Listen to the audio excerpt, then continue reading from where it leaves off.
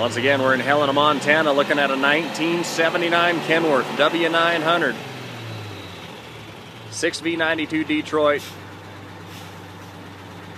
And a 10 to 12 yard box.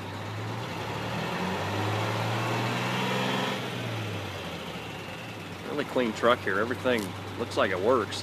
All the lights, no big leaks. I'm going to show you the bed dump in here.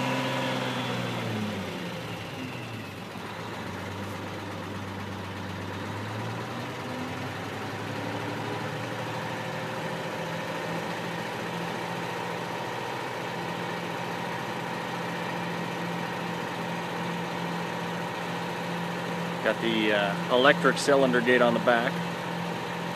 I guess air, electric.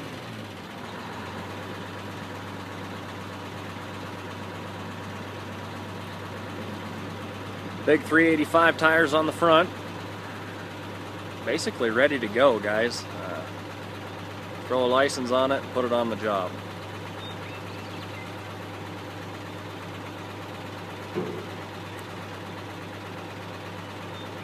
Then it is a uh, gravity down on the bed, not a power down. Once again, Helena, Montana, we're going to sell this truck on AuctionTime. For any questions, please call prior to bidding. And thank you for viewing this Rivers West online auction listing.